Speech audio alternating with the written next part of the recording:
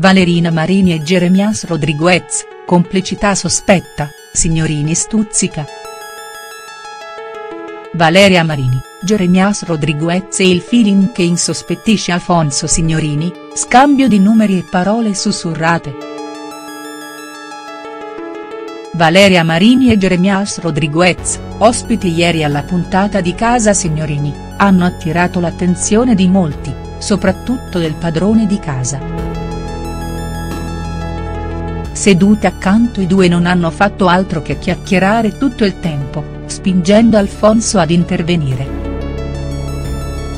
Il conduttore, ironicamente, ha poi più volte scherzato sulla complicità nata tra i due, rivelando al pubblico e ai presenti un dettaglio da non sottovalutare. Jeremias Rodriguez e Valeria Marini pare si siano scambiati i numeri di cellulare ieri sera, con la speranza forse di rimanere in contatto. Tra i due potrebbe nascere qualcosa o è solo un'amicizia innocente?.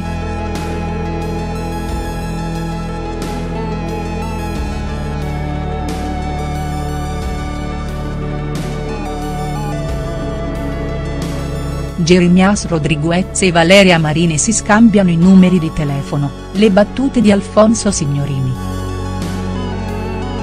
In puntata Alfonso è poi ritornato più volte sulla coppia, facendo notare a tutti come i due fossero poco interessati alla conversazione in sala mentre continuavano a parlare a bassa voce tra loro. Dopo aver parlato con i suoi ospiti Alfonso ha poi detto a Jeremias di avere un messaggio per lui da parte di Aida Jespica. Da buon esperto di gossip però il direttore di Chi ha deciso di non rivelarne subito il contenuto. Il motivo? Ti darò il messaggio di Aida solo quando tu mi mostrerai il primo WhatsApp di Valeria Marini ha detto Signorini rivolgendosi al suo ospite. Aida Jespica, dopo Geppi nel suo cuore che spazio per Jeremias Rodriguez?.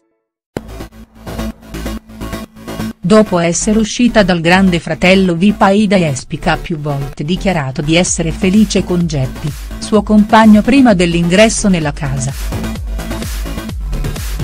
Pochi giorni dopo però, ritornata alla vita reale, la showgirl ha dichiarato dalla Panicucci di essere tornata single. L'amore tra lei e Geppi era giunto al capolinea.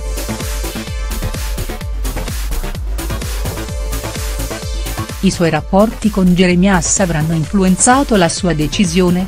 Certo è che, ormai, se tra i due dovesse davvero nascere qualcosa nulla vieterebbe di pensarlo.